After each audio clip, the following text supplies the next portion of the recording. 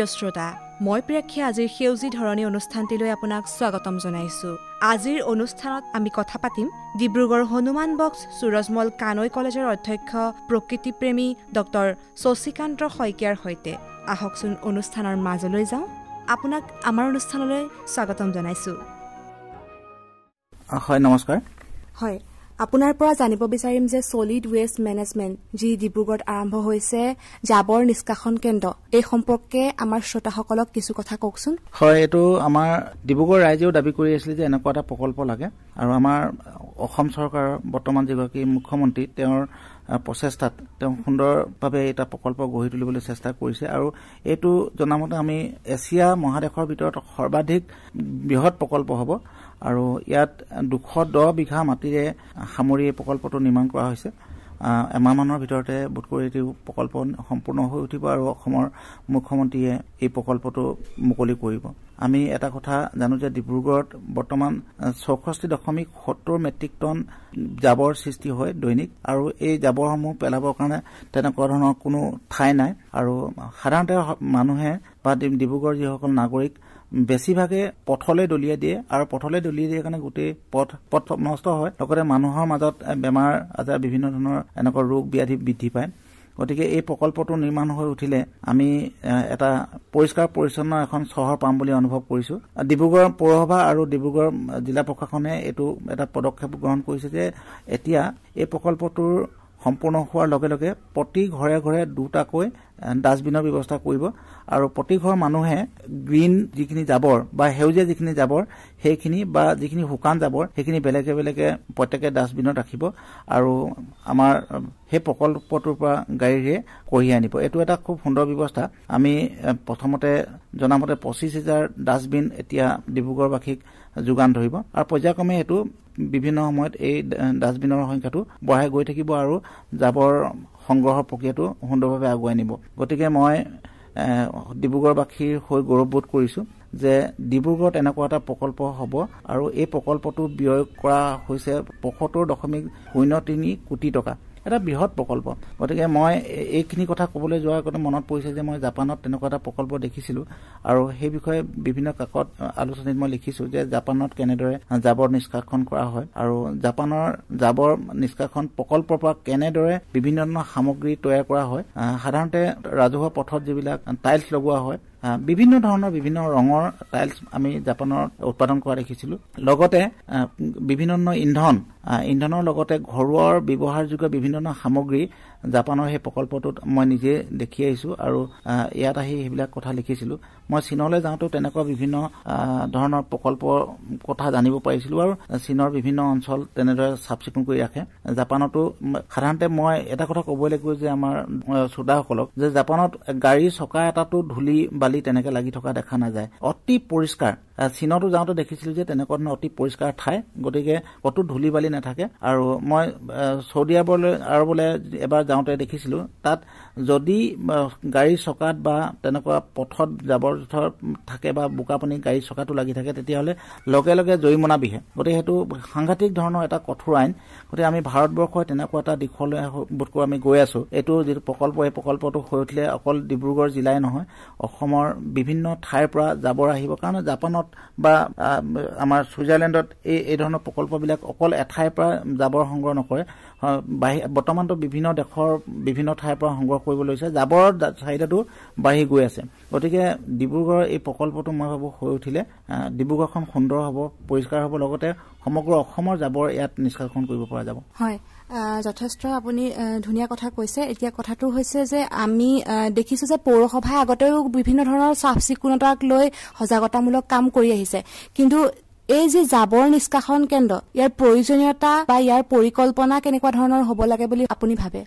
পৰিকল্পনাটো আমি বিভিন্ন সময়ত আমাৰ ছাত্ৰ ছাত্ৰীকে হওক বা মই অসমৰ বিভিন্ন ঠাইলৈ গৈছো। আমাৰ লগত সতীৰ্থ হিচাপে যায় দিলীপ সিং এগৰাকী শিক্ষক। তেওঁ বিভিন্ন সময়ত এই বিষয়ে কৈছে যে আমি আচলতে মই দেখা কথাখিনিয়ে কৈছো যে আমি কেনেকুৱা ধৰণে কৰিব লাগে।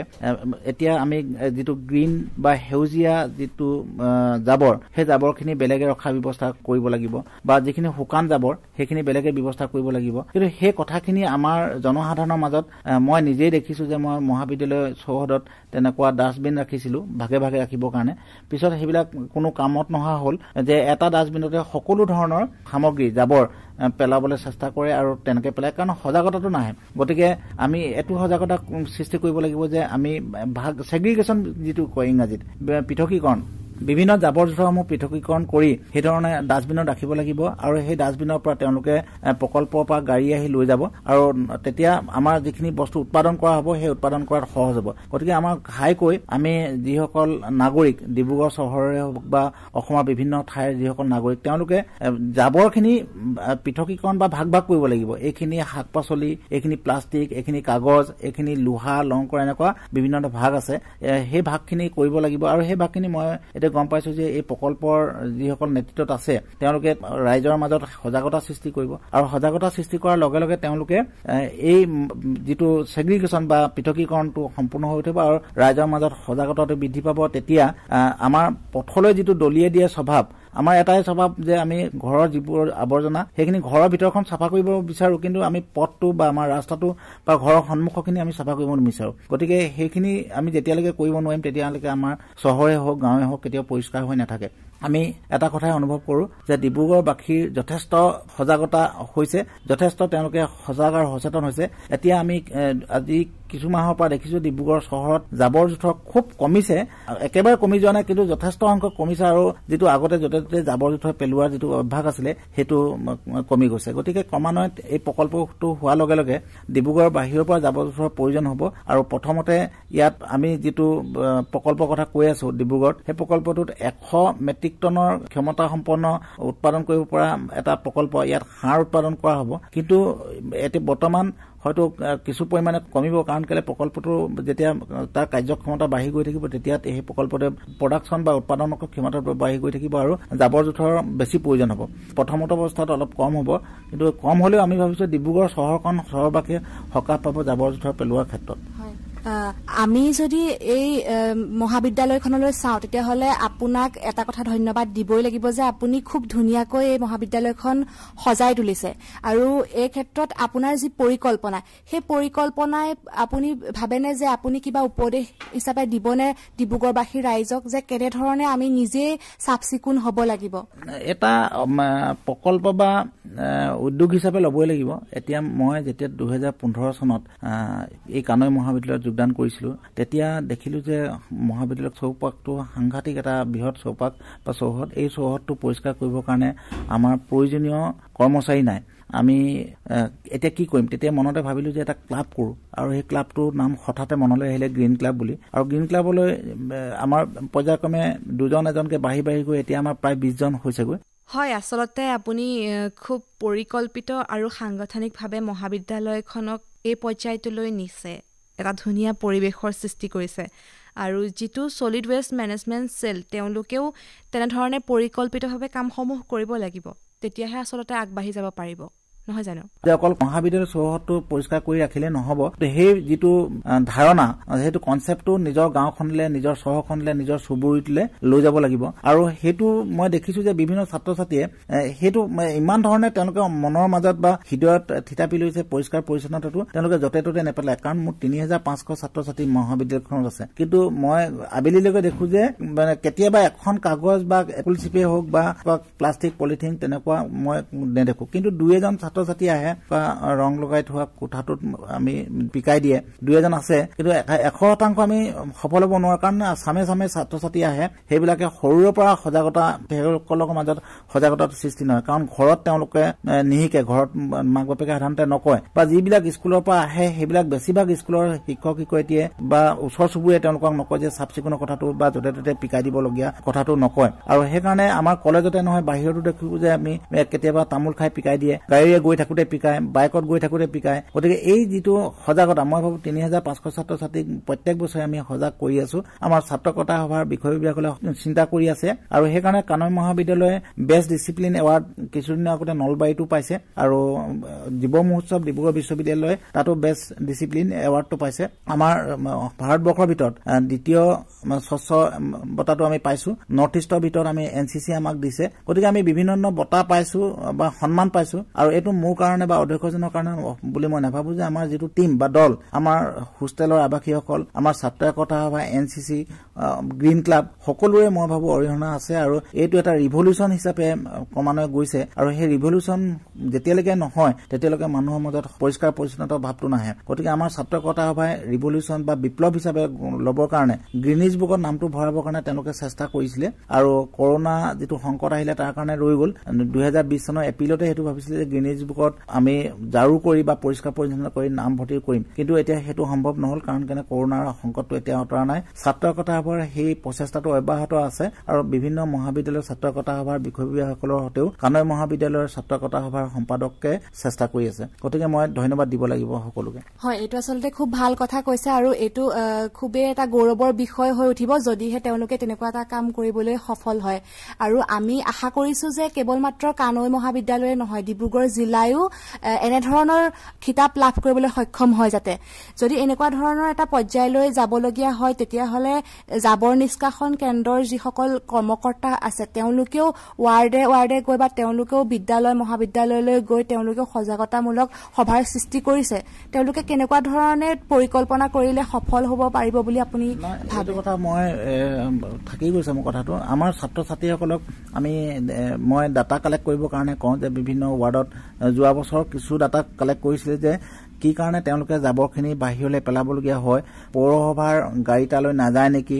বা পৌৰসভাৰ গাড়ীত যোৱাৰ পিছতো কি কাৰণে তেওঁলোকে পথলৈ দলিয়াই দিবলগীয়া হয় বা নিজৰ সন্মুখৰ নলাটোত পেলাবলগীয়া হয় বা আমাৰ যিবিলাক এন জি অ' আছে এন জি অ' গাড়ী কিছুমান চলি আছে এন জি অ' গাড়ীবিলাকে নিনিয়ে নেকি ৰেগুলাৰকে? এতিয়া কোনো ডাটাবিলাক কালেক্ট কৰিবৰ কাৰণে মই ছাত্ৰ ছাত্ৰীসকলক কৈছিলো আৰু কিছুসংখ্যক ডাটা কালেক্ট কৰাৰ পিছতে দেখিলো যে তেওঁলোকে কৰোণাৰ কাৰণে ৰৈ যাবলগীয়া হ'ল। গতিকে আমাৰ কেইবাটাও কাৰ্যসূচী আমাৰ লৈছে আমাৰ গ্ৰীণ ক্লাবৰ সদস্যসকলেও গৈছে কেইবাটাও ৱাৰ্ডত। তেওঁলোকে গৈ জনসাধাৰণৰ মাজত সজাগ সৃষ্টি কৰি আছে। অকল কানৈ মহাবিদ্যালয় বুলিতে নহয় যে কানৈ মহাবিদ্যালয়তে পৰিষ্কাৰ পৰিচ্ছন্নতাৰ এটা বিপ্লৱ হৈছে এইটো কথা আমি ক'ব নিবিচাৰো। কাৰণ কেলে মই নিজে ডুমডুমা অঞ্চলত কৰিছো যোৰহাটত গৈছো মই গুৱাহাটীৰ বিভিন্ন ঠাইত কৰিছো অসমৰ বিভিন্ন ঠাইত গৈছো শিৱসাগৰত গৈছো আৰু যেতিয়া মই বিভিন্ন ঠাইলৈ নিমন্ত্ৰণ হওঁ মই এই বিষয়টো স্বচ্ছতা সম্পৰ্কে মই দুটা কথা কৈহে মোৰ বক্তব্যটো সামৰণি মাৰো। গতিকে মই ভাবো এইখিনিয়ে যথেষ্টখিনি আমাক সহায় কৰিছে স্বচ্ছতাৰ ক্ষেত্ৰত। আৰু আমি ইউটিউবত দিওঁ আৰু আমাৰ ফেচবুকতো দিওঁ হোৱাটছআপতো দিওঁ যিমান পাৰো সমগ্ৰ ভাৰতবৰ্ষত আমাৰ এই গোটেই তথ্যখিনি ঘূৰি ফুৰে। গতিকে মই ইউটিউবৰ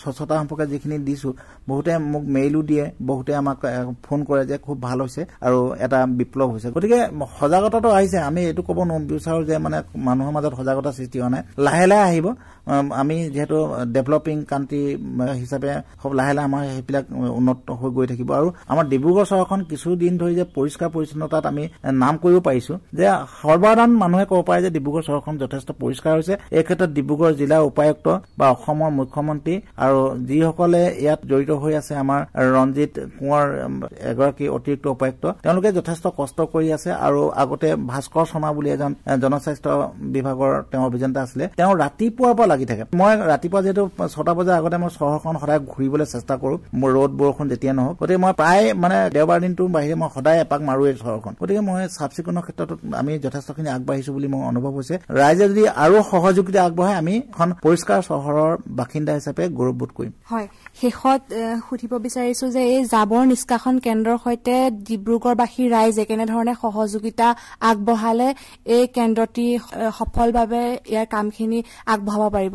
এইটো আমি ডিব্ৰুগড়বাসীক মই অনুৰোধ কৰিছো যে আমি গোটেই প্ৰকল্পটো সুন্দৰভাৱে পৰিচালনা কৰিবৰ কাৰণে জাবৰখিনি যিখিনি আমাৰ পেলনীয়া সামগ্ৰীখিনি ভাগ ভাগ কৰি আমাৰ নিয়া ব্যৱস্থা কৰিব লাগিব আৰু যিহেতু ডাষ্টবিনো যোগান ধৰিব প্ৰকল্পটোৰ ফালৰ পৰা গাড়ীও যোগান ধৰিব। গতিকে ঘৰৰ সন্মুখত ভাগ ভাগ কৰি সামগ্ৰী পেলনীয়া সামগ্ৰীখিনি যদি ৰাখি থৈ দিয়ে তেতিয়া মই ভাবো যে অকল ডিব্ৰুগড় সামগ্ৰীয়ে নহয় তিনিচুকীয়াৰ পৰাও জাবৰ আনিব লাগিব বা শিৱসাগৰ যোৰহাট বা অন্যান্য ঠাইৰ পৰাও জাবৰৰ চাহিদা বাঢ়িব আৰু তেতিয়া সমগ্ৰ অসমখনেই মই ভাবো এদিন চাফা হ'ব। কাৰণ কেলে এছিয়াৰ বৃহত্তৰত বৃহৎ প্ৰকল্প এটা গঢ় লৈ উঠিছে এইটোৱে এটা নতুন সম্ভাৱনাৰ সৃষ্টি কৰিছে আৰু আমি নতুন দিশ এটা দেখা পাইছো। হয় আপোনাক ধন্যবাদ জনাইছো ইমানখিনি সময় আমাৰ সৈতে দিয়াৰ বাবে। ধন্যবাদ। প্ৰিয় শ্ৰোতা ইমান সময়ে সেউজী ধৰণী অনুষ্ঠানটিত ডিব্ৰুগড় হনুমান বক্স সুৰজমল কানৈ কলেজৰ অধ্যক্ষ প্ৰকৃতিপ্ৰেমী ডক্টৰ শশীকান্ত শইকীয়াৰ সৈতে হোৱা সাক্ষাৎকাৰটি শুনিলে। সময় ইংগিত দিছে অনুষ্ঠান সামৰাৰ। গতিকে মই প্ৰেক্ষীয়ে আজিৰ সেউজী ধৰণী অনুষ্ঠানটিৰ পৰা বিদায় লৈছো। নমস্কাৰ।